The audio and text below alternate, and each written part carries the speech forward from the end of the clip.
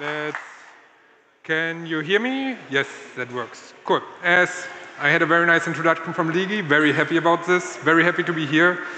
Has been a long week. We had SafeCon at the beginning or last weekend, it was awesome. And then DappCon and now Protocol Berg as the final of this week.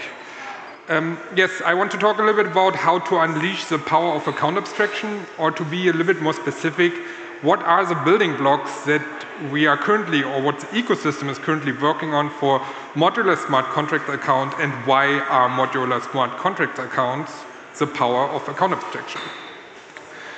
And what I want to say at the beginning, like this talk is meant to create awareness. I'm going to present quite some ERCs all of these ERCs are in draft state. There is active discussion going on on Ethereum Magicians.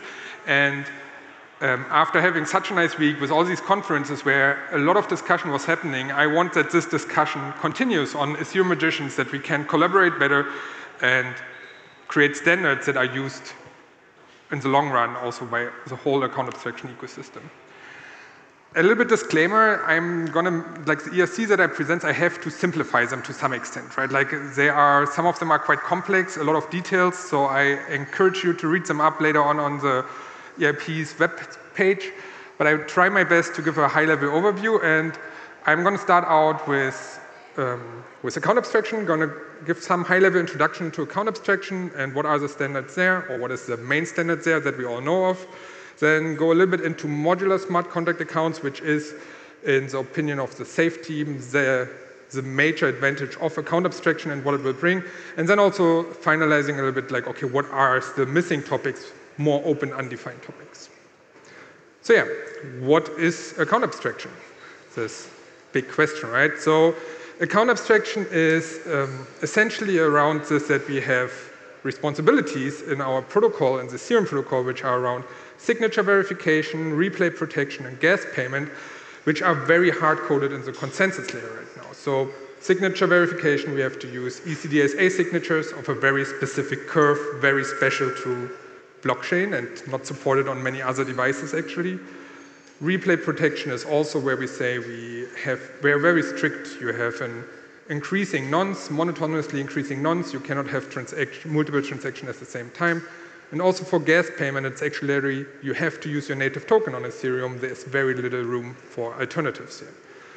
And we want to move this to the execution layer and abstract it away from the consensus layer because it allows us to be more flexible here, right? Like we can use other signature schemes, we can um, have support for BLS signatures, use multi-signature schemes, we can have replay um, protection that allows out-of-order transaction, and also have gas payments that are more flexible using tokens, for example, for payment. So the big question is, how do we get there? Before the talk, I looked it up, like because it's not a new topic, account abstraction. Actually, ah, and hey, not sure if I'm correct, it's EIP 86 or something, so very, very, very early EIP from Vitalik, which says, let's do account abstraction. So this was around since the very early days of Ethereum, and it did not happen yet. So doesn't seem to be that simple to solve this. And since this has been going on so long, there were quite some teams that said, okay, let's try to take some initial steps. And one of the steps that has been proposed and has been implemented just recently is this account abstraction via an entry point, so entry point based account abstraction. So if we look at this flow, what we can see actually the left part of the flow, we, it's very standard. You have your owner of an account that signs the transaction, collects it together. And then now it's a little bit different. To, in the normal flow, you hand then these, the signed transaction towards the validators or to a node that then puts it into a block.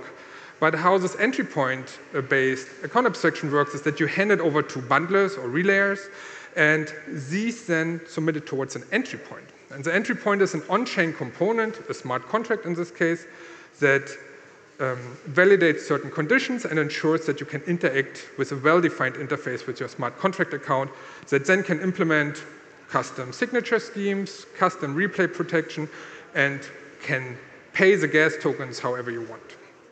And I mean, that is currently the most well-known standard in account abstraction, at least of this year, and that is ERC 4337 actually. And there's a big advantage to the standard, and this is actually we can start utilizing this, start collecting insights into account abstraction without changing the consensus layer. So we do not require a hard fork like we required for the merge. It's just another contract on top of the chain. This also means that you don't have the full security assumption from all of the validators, but it's a very important big step because we need to collect data. It also gives us an initial rule set for the bundlers. So the bundlers um, are taking some risk because um, when you interact with a smart contract, suddenly this validation of the signatures is a lot more volatile. It might happen that actually the what you validated before that the signature was valid is not valid anymore, so they have to take some risk, and it actually introduces some denial of service vectors. This was actually one of the main parts why account abstraction didn't happen so far. If you look up past EIPs around this, it was always what is the risk? What if, how much gas should we limit the verification phase to? How do we ensure that this does not bring down the whole network? And this, again, is where ERC 4337 creates some initial rule set. It um, might be quite limiting compared to having just smart contracts accounts that you interact with, but it allows us to learn from them. It allows us where are the limitations, where does it, um, where should we try to loosen the restrictions to enable more modularity. Additionally to this is also introduces some of these concepts they call paymasters. And paymasters are like alternative payments flows. Like the normal flow is the account pays for your gas fees, but actually there are very interesting use cases that go beyond this. Potentially you do not want to pay in ETH, you would like to pay in DAI or in USDC because it's more native to you to see the fees in a dollar with a dollar connotation. Or maybe some teams want to sponsor the transaction. And this is, in my opinion, one of the big UX needs that we need to get to because if all the users first have to own crypto on their account to start interacting with dApps that are non-financial, we will never get the adoption that we um, thrive forward to. And last but not least, the potentially most important thing by 437 is that they define an initial version of an account interface. And this account interface is important because it's again, when we think about abstracting this away, there needs to be a way how the consensus level, which is represented by the entry point in the first step, interacts with the contracts to verify the signatures and to do the gas payment. And who knows if this interface is a perfect interface or the final interface, but it's our discussion starting point. So this is, again, when, when I was talking about this, I want that as many developers as possible start looking into this, say, okay, where do they see blockers? Where is stuff not working for them? And this is, again, where 437 gives us a very good starting point. But where do we go next? I mean, okay, now we have this entry point account abstraction, entry point based account abstraction, but that's not our end state, right? Like we want to have this native. And actually, um, I know that the 4337 team, they are working together with quite a lot of the layer 2s. So the layer 2s can act a little bit more dynamic than Ethereum mainnets. They are, have a little bit more freedom. And actually they could start that we say, hey, the sequencer, so we don't need this whole pool of bundlers and relays anymore, but the sequencer starts accepting user operations, so 457. And with this, we're already simplifying this flow quite a lot for the user because they don't have alternative mempools or like proprietary structure that they have to go to. It's the same entry points that they talk for uh, with to in general get information about the um, ecos uh, about the layer two. Then under the hood, it can still use the on-chain entry point, um, or even better, they could go towards a way they, where they even cut out this on-chain entry point and say they support very natively fully the flow directly towards the contract and have this on the consensus level. This would be then the ultimate vision also for Ethereum mainnet to go for. Currently, we have some networks or some rollups already doing this, like zkSync, also Starknet, where you can start um, evaluating this. But essentially, these are the projects that we need to better understand what are the blockers, what are the limitations, and where do, where do we have to find new solutions to enable the modularity that we want to have. So yeah, now I talked a little bit about account abstraction, that's nice, but I said the power of account abstraction is modular smart contract accounts. So why do we think so? So actually that's one of our default slides by now. Uh, very big thanks to my colleague co-founder Lukas who created this slide. Um, so for us, why the future of smart accounts is modular is because it enables us to have composability, customizability, security, and adaptability. So what does it mean? A lot of text, I try to summarize this a little bit more quickly. And so composability is that actually if you have a smart, modular smart account system, actually you can have multiple teams creating different modules for this and you can have um, reuse this code and build on top of this code more easily. And it's not just one team building one monolithic project. We had a talk earlier on this stage where it was talking about the same concept for Ethereum nodes or Ethereum blockchains in general, right? Like going into a more modular um, future allows us to be more flexible. Also, customizability is important because not every user has the same needs. Currently, the Ethereum landscape is, from the user side, is actually quite homogeneous. Like it's, there are some left and right, but it's a lot of crypto native users and people that know a little bit of crypto. It's very little the people that have zero knowledge about crypto, like my parents. And if we really want to cater, cater towards them, we need to make sure that they can cover their use cases that they want to project onto the blockchain. Another, for us, actually most important point is security.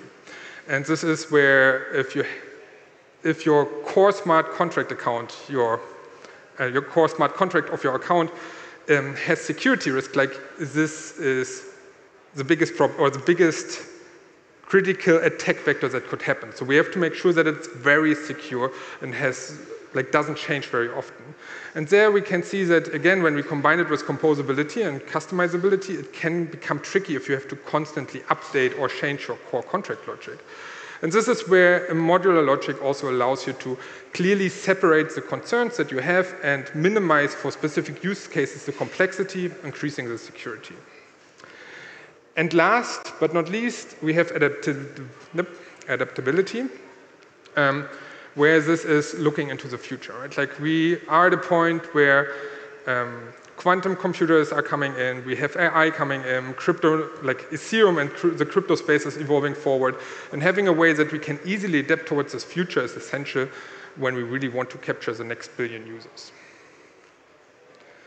So yeah, looking at this, we say smart contracts accounts will, enable a lot of use cases. And even if we look at the safe right now, a lot of people think like the safe is just a multi-sig. But actually, this is just the tip of the iceberg for us. When you look at the safe, um, you can actually, or in general, modular smart contract accounts, you can cover a lot of use cases such as spending policies, as session keys, as roles, general permissions and hierarchies.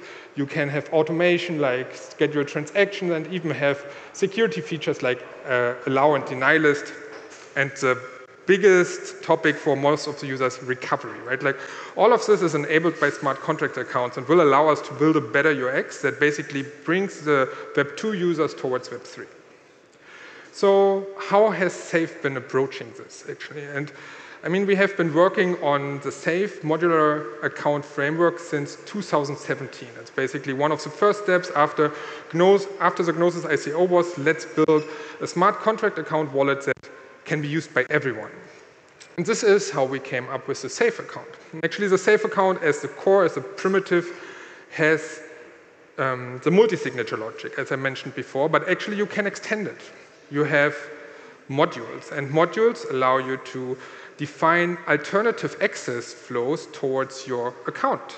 This is very useful because you can say, hey, I have this recovery module and under specific conditions, this is allowed to replace owners because I lost access to the original owners. We also have transaction guards, which allow you to increase the security and protect your execution flow, where you can say, hey, I only allow to interact with very specific addresses.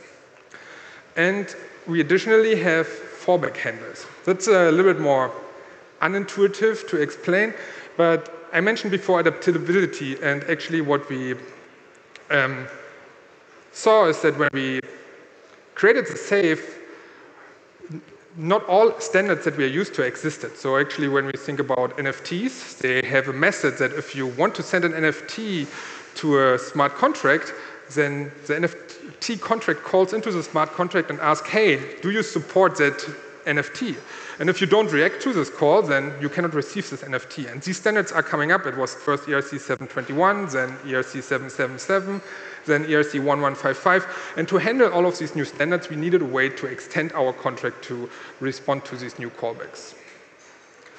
So this is where we are now. And when there was a question then, okay, why is SAFE not being adopted yet, right? Like it's a smart, modular smart contract account. Everybody, like it seems like the future. Everybody is hyped about this topic right now, and you're around since 2017. Why not? Uh, why did it not happen?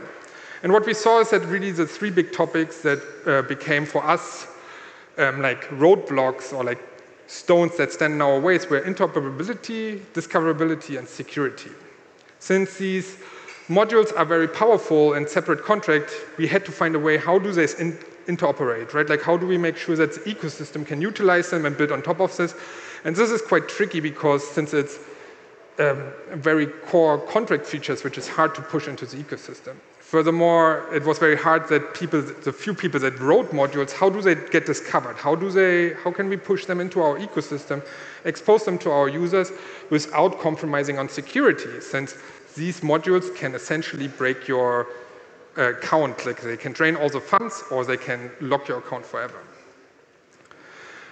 So, okay, where are we at right now? Let's first take a look at interoperability. So this, after 437 was published, actually became, um, there came a huge hype towards smart contract accounts and there was a new push for interoperability, which was very nice for us to see. And one of these standards is ERC 6900, which defines modular smart contract accounts. And on a very simplified level, we can say they define uh, validation um, hooks, also functions where you can call validation.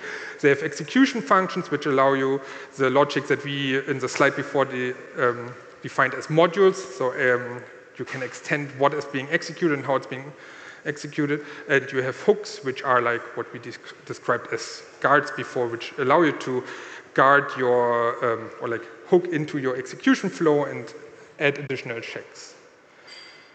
Besides this, they also define very high-level plugin meta information. Right? Like, so you can have a manifest for a plugin that gives you information about what is it actually doing, what are certain methods that you have, what is the description for it, right? Like, and also allows um, definition of permissions. And permissions are actually very important because if you have such a module, you want to know how does it interact with my account. So this is very cool because if we get this standardized, basically what we can do is we have two different smart contract accounts and they can be completely different standards. But let's say on the left, Alice uses a safe and Bob uses Argent, but they can use the same plugins if all the parties involved follow the standards, which is very powerful because now we have interoperability, we can have tools building on top of these standards, and we can then build a thriving ecosystem which can grow and provide the best user experience. So if we recap that a little bit quite quickly, so we have on the left side the accounts where we have ERC 437 um, um, building, uh, working on standards. On the right side we have modules and these plugins where ERC 6900 is working on. But you know, that's nice, we now fixed interoperability, but we still have discoverability and most importantly, security left. So what do we do here, right? Like, because as mentioned before, these modules are super powerful. They can steal all your funds, they can lock all your funds. And this is where we at the SAFE team then came and said, okay, let's put a big picture on it. How do we see this all working together? And this is what we described as a safe protocol for us, where we published a white paper and said, okay, let's put it into context, let's see, uh, let's describe how we see it and how we want to move forward here.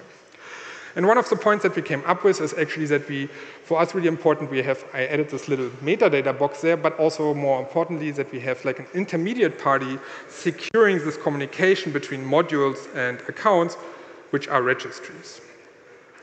And registries are very powerful because they provide an abstraction layers that can provide guarantees on supported standards, but they also can provide more ongoing, continuous security guarantees if you, for example, connect them to bug bounties that, um, that can act automatically whenever your something comes up. Additionally, they allow you to act like an oracle kind of layer for more off-chain validation. Like there is chain security has this process. How can we um, how can we verify deployments? How can we validate them? And such a registry could provide this information on chain um, without the user having to worry about it, and can therefore protect this connection between modules and accounts. And last but not least, it can also act as an adapter for existing on-chain services, such as the Ethereum attestation service, which allows you to attest to certain information and providing certain guarantees based on these attestations. But what we can see here is that a lot of this information is actually not meant to be used directly on chain for modular smart contract accounts. Especially this deployment validation, we see that, um, that it is primarily meant off-chain and it's not contract parsable, right? And there was, when we talked with our um, like security auditors and how to improve this, one of them actually told us a story where they said, hey, look, we interacted with the client and the client said, please audit our contract. And they did so. They came back with feedback, said this contract needs to get a major overhaul. It's not secure. And the expectation then is normally that you that the customer comes back with a revision and they do another audit. But what happened here was the, auditor, uh, the customer said, hey, that's nice. Uh, they used still the same code, published it, put on their website, we got audited, which is true, even though the audit said it's not secure. And then for the user, it was very hard to verify because the normal user doesn't understand security audits, and there is no on-chain guarantee. And this is where we also, where another standard that we are also involved in is this ERC 7512, where it's about on-chain audits. Like how can we represent these security audits and the, these security um, reviews on-chain in a way that you can verify the authenticity and also the state of these audits. And most importantly is that we want to have this information parsable in a like for a contract.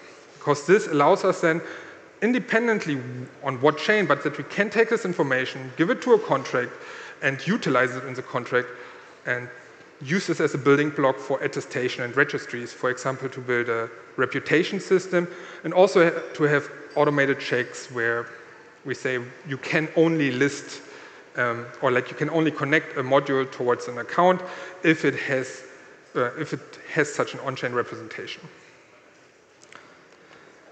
So yeah, this, with having this, with enabling these um, registries, we now can cover security, and actually also registries are a very essential building stone for discovery, because when you have registries, potentially multiple, these are central points where we track a lot of information about these modules in the first place, allowing us to build them better UI and UX for discoverability on top of them.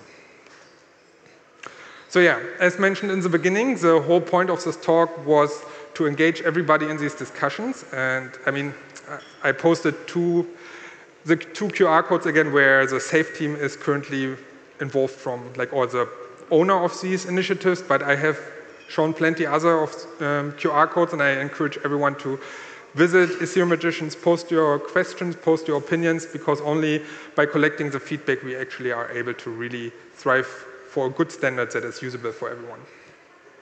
Thank you.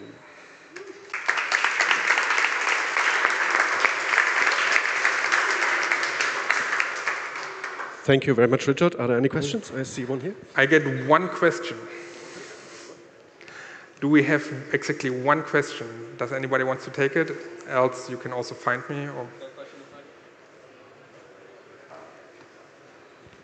How do you think the handling of the registry will work? Uh, will there be multiple providers of these registries and I can just pull them in into my, uh, my wallet? Or will the registry be um, like uh, hosted by my wallet provider? That's a very interesting question. I think it depends very much on your use cases, right? Like when we internally discuss this, it always comes around, does the user understand the significance of a registry? In the sense of, if I as a user have to worry about which, registry, which registry to use, you're back at the point where you have to understand a little bit what are the inner workings, right? So uh, one of the ways, depending, like if we say we want to have a full retail wallet, for example, or like a retail module, uh, solution that makes use of these modules might be actually that you say there is, for these users, for this wallet, exactly one registry. That being said, even though it's only one registry is exposed to the users, that might be somehow governed by some tokenomics, it doesn't mean that there is in general only one registry, right? Like there are for different purposes, different registries. Um, you might have things which is more tech focused where you can expose more information for these registries or have different security assumptions. I mean, we see it in the normal world. You have um, you have a nightly channels for a lot of software, right? Like, but you you have to actively opt into this one to get the, to get your code from there. So I would assume, like the short answer is there will probably be multiple registries, but I assume some, most of them will not be exposed to the users directly. Thank you, Richard, for all your work and this talk. Give a big round of applause to Richard Meissner.